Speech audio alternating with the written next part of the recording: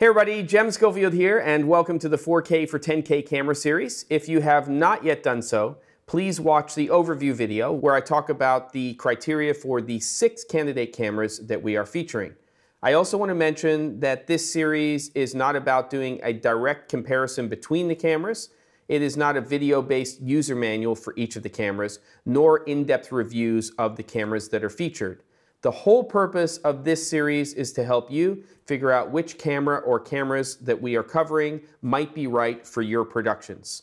A camera series would not be complete without some test footage. So we decided that we were going to record to each of these cameras internally at their highest resolution and at the best formats and codecs that they could record to internally. In this particular video, we're going to be talking about the Sony FS7 II, so let's get started. Let's take a look at what the FS7 II comes with when you buy the basic camera package. We of course have the camera body itself. We have this handle over here. We have a shock mount. We have this extension arm here. It's the only camera in the series that ships with an extension arm. What's nice about this extension arm now is it's a toolless design, so it's very easy to adjust that and you don't need to have an additional screwdriver. And then we have the grip, which has tremendous functionality on the FS7 II. We have the release here, which is super easy to use and lets you get that into a number of different positions. We have start, stop, record. We have user assignable button number five, which by default is the user menu, which is great. We have this joystick, which lets you choose and select items inside of your menus. We have the zoom rocker here, which with a lens like this will actually, with the servo, control the lens. Another assignable button, which by default is focus magnification. And then we have this dial here, which would generally be used for iris. And then over here on this side, we have our viewfinder, which is actually an LCD screen. And then attached to it, also coming with the camera system, is this unit right here, which serves two purposes. If I press and release, it becomes a hood here for this LCD screen. And then if I drop it down, we have this eyepiece here with a built-in diopter, which you use with this viewfinder. Now, it's not a traditional electronic viewfinder, and there isn't one that comes with the camera system, but this is their solution for this camera where it can basically be used as both. In fact, if I release this bottom part here and take that off of the camera, you can see that we can now use this just as a standard monitor or screen. Now, additionally, if I just pan the camera over here and we take a look at the front of the camera system, uh, one of the big things that we want to talk about here is this locking E-mount. And this is an E-mount based camera system. So this and the FS5 II are our two cameras in the series which use a different than EF mount standardly. So what we do here is we press the release and then we line those dots up. And then when I put my lens onto here and I go ahead and I lock it into place, then that release actually locks. So the nice thing about this is if I were releasing a standard positive locking mount and I got to this position here, the lens would just come right out. But there's a safety here, so I do have to go in here, press release, and then the lens will drop. So you always still have to spot that lens. That's very, very important. But that extra level of security there is really, really nice. But the huge advantage of having this locking E-mount on the camera system is that it's more robust and I have a lot more confidence when I'm putting larger lenses onto the camera system. It's still a good idea to have some sort of lens support on there with a rod-based system, but in this situation, at least you can feel more confident when you're putting these larger lenses on the camera. Now, speaking of lensing your camera systems, when you have a company like Sony that makes camera bodies and also lenses, you can get as an option lenses like this 18 to 110, which really takes this camera and allows you to use it in a more ENG style, EFP style type of setup. And this particular 18 to 110 is great because once it's attached to the FS7 II and you're using the remote grip, you can actually use this zoom rocker here with the camera system and you can control this 18 to 110 using that. And that's our lens system attached using this locking E-mount. And a couple of other things that are included with the system here. You do get a BPU 30 battery and you do get a charger which also doubles as an AC or mains power for your camera system. And then also this little shoulder pad right here, which we don't have attached to the camera, which goes underneath. And this allows you to basically just have a slight padding here. It doesn't mean that it's gonna replace a full shoulder mount kit, but for a lot of people when they're using it with the FS7 II, it's enough, especially when they're using that extension and that remote grip unit. And you can see how that's being used in this shot right here. So now let's go ahead and take a look at the camera from an operator standpoint. We're gonna go over here to the front left of the camera system and we have our ND system and this definitely is something that we wanna focus on that is unique to only two of the cameras in our series, the FS7 II and the FS5 II, and it is the variable ND system. Now in its most basic, the ND is not unlike most cameras. We have a clear setting here, we go to one, by default, that's two stops of ND. We have two, which is four stops of ND, and we have three, which is six stops. We can go into the menu systems on this camera and we can change it from anywhere between two and seven stops. So we can change these presets to be different values if we want.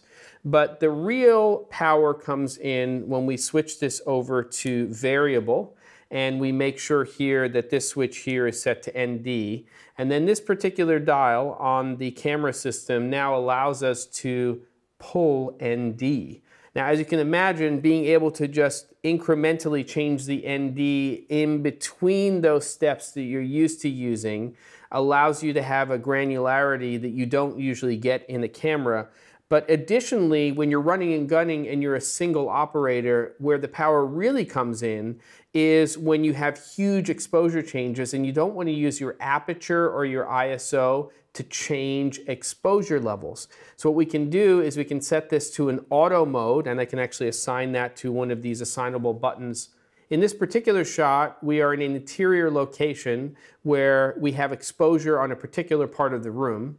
And then as we pan the camera, we can see that more available light is coming in, but very gradually we can see that that variable ND is kicking in. And what it's doing is it's allowing us to change our exposure without changing our aperture or our gain values. You can see here, and I did mention the assignable buttons, there are a lot of them on the camera system. And I really like this trend on camera systems, allowing the operator to tweak the camera to the way they like to use it easy access to get to our menu systems, which we'll take a look at in a minute, and also very easy access to changing our audio controls, but a little door, which of course prevents you from changing your levels when you are using the camera. So over here is where our cards are in this protected bay over here, and this camera system is a little bit different. It uses XQD cards. They are more expensive than SD cards, but they are more cost effective, at least at this time, than CFast cards. So I'm just gonna go ahead and put that back into the slot. Now when we come over here to the right side of the camera body, we have our output ports. So you've got the two SDI terminals here that are pushing out a 1080 signal. And then you have, of course, the 4K internal recording. And then we have this HDMI 2.0 terminal, and this will allow us to push out a 4K signal to an external recorder. But if you really want to push out a 4K signal from the FS7 II, what you need to do is get an additional piece of equipment from Sony. And this will of course add to the cost of the overall camera system. So this may push you over that $10,000 US, but it is something that gives you a lot of additional functionality. We have, very importantly, a raw output. So we can actually do a raw output now with this extension unit from the camera system, and that is giving you the ability to record in 4K in RAW to an external recorder. And then we go over here and we've got our XLR inputs for the camera body. So you can see those right here. So we have channel one, channel two that go into there. And if we go ahead and take a look at the top handle here, we can see additional functionality. We have a zoom rocker on here, start, stop, record. And then we have this, what's called an MI shoe, which stands for multi-interface shoe. So what I can do is I can take this, which is called the SMAD P3D, and the only reason it's the D version is it's for a dual channel receiver. We have electronics here that match up with that MI shoe. And I'm just gonna go ahead and insert that into that smart shoe. And then once that's attached, all I have to do is take my receiver here. You'll see that there's this connector, female, and you just slide that right into place and they connect together. You lock it in, and now your receiver is going to pass all of that data into the camera system without additional cabling here. And the last thing we'll go over in terms of the exterior is this viewfinder or LCD screen. And if I just turn this on, you'll see there's some additional controls that we have here. So for instance, we have the ability to change the contrast of that screen. We have access to peaking and zebras, and then we can actually flip the screen if we need to, depending on how you actually have that set up for your productions. So now it's time to jump into the menu systems. And what I want to do now is really talk a little bit about how you have two cameras in one in the FS7 II. So the first thing I'm going to do is go over to my camera body and press on the menu button here. And first and foremost, the user menu. Thank you, Sony. As a single camera operator, a lot of the time it is really difficult sometimes to drill down into menu systems. And the fact that we have a user menu where we can add things that we want inside of this menu, and even in the sort of default, it has most of the stuff that you want to get to. It really, really helps in terms of customizing the camera for you as a user. So inside of here, and we can get to this from somewhere else in the menus as well, we have something called base setting. And this is really, really important to understand with the FS7 II because this is where you basically decide, do I want to set up this camera as a normal sort of typical almost broadcast style camera with some cinema style features or do I want to set it up as more of a digital cinema camera? So let's go into custom and take a look at that. So when we're in custom, just think of this camera as the camera you can go in and drill into menus, you can paint in camera, and it is baking whatever you are setting it to into your recorded image. So for instance, if I go into the paint menu here, we can go in and I can drill down here and I can change my gamma settings. So right now I'm in S-Log 3. If I change that to a different gamma setting, then it's changing the dynamic range that's being recorded by the camera system. So if you want the most dynamic range, S-Log 2 or S-Log 3. Now step out of there and we're gonna go into our matrix, which really has to do with our color. And you can see we can go in here and there are also presets that we can choose that have to do with and will change the way our color gamut is being recorded. So I'm going to go in here actually and choose this F55709 like, but there are other options including BT 2020. But if you go into these menus and you change a lot of stuff, you can definitely get yourself into trouble. So make sure you refer to the user manual if you're gonna be making these changes in terms of gamma and gamuts. So we step out of there and we'll just take a look at a couple of other things when you're inside of the camera system. So we can go up here to camera and in terms of our ISO and gain, we can go in here and we can rate that as a dB or we can rate it as ISO. And then depending on how the camera is set up, we can take our L, M, and H switch positions and we can assign them specific ISOs, which again will be baked into the image. This camera has a base ISO of 2000. That is what it's rated as. But if you do go in and you change things like your gamma, it actually changes what options are available to me in terms of my gain or ISO.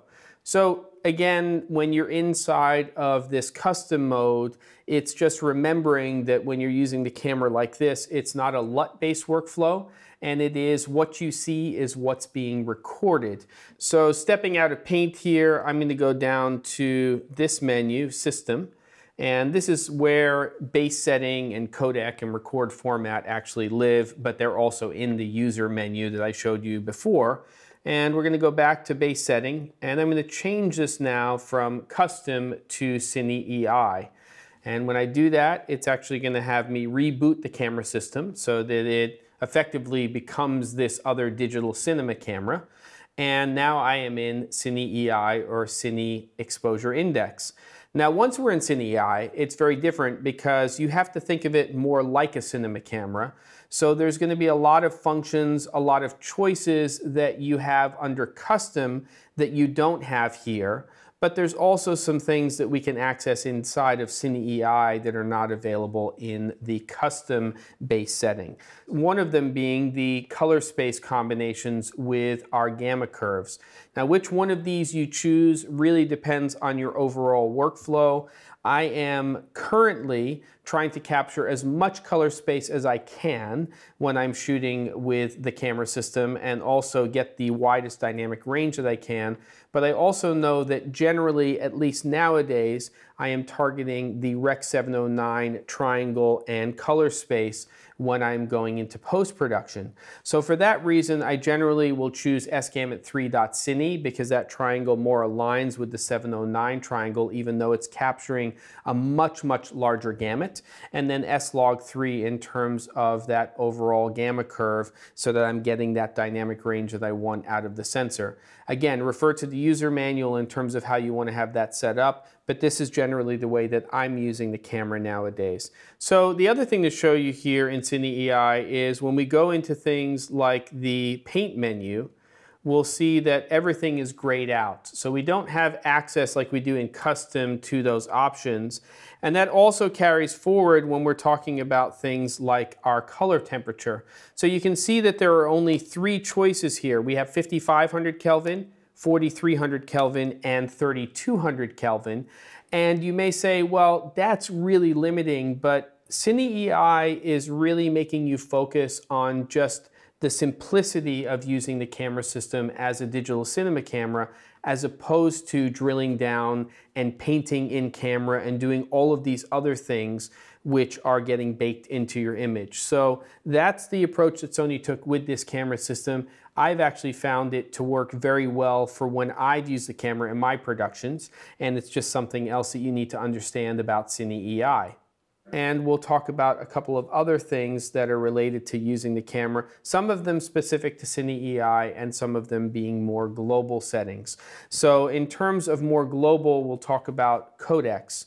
So you'll see XAVCI, and that's probably the codec that you're going to use most of the time to record internally, 10-bit 422 high data rate, and a rich image that you can work with in post-production. I have really been happy with the image that you get using that codec inside of the camera. And additionally, you'll see that there are some grayed out options here. If I add the extension unit, which I showed you earlier on, those become available. Okay, so let's step back out here and take a look at a couple of other things. Let's go into recording format and we can see that there are a lot of options there in terms of the way we can record internally and we can record up to 60p in 4K.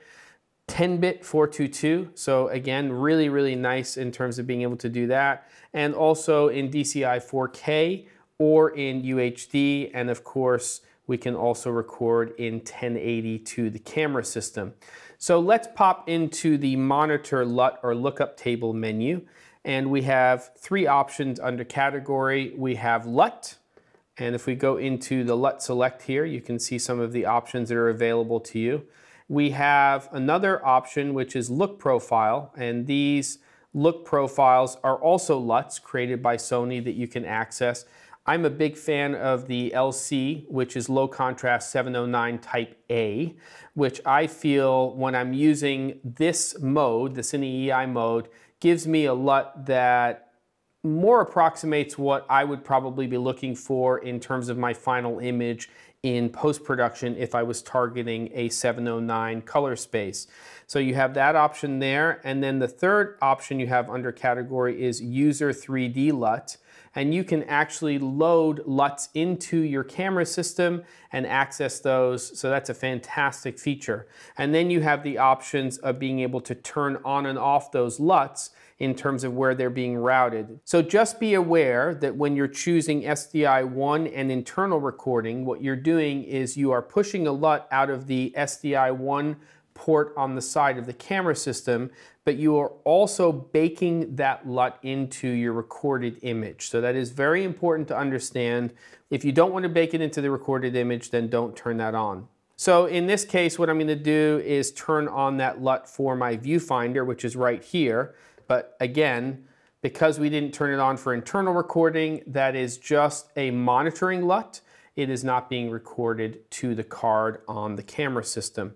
So we're going to jump into ISO gain exposure index. And inside of here is where you set where your low, your medium, and your high ISO settings are.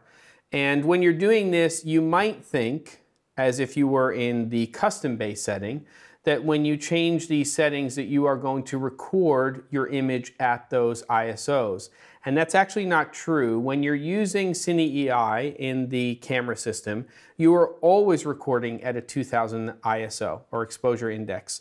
So that's definitely something that you have to get used to with the camera system. The fact that we know that the recorded image in Cine EI is always 2000 ISO means that we have to understand how we can monitor an image if we want to rate that differently in post-production. So what you can do here is you can assign your switches on the side of your camera to different exposure index values.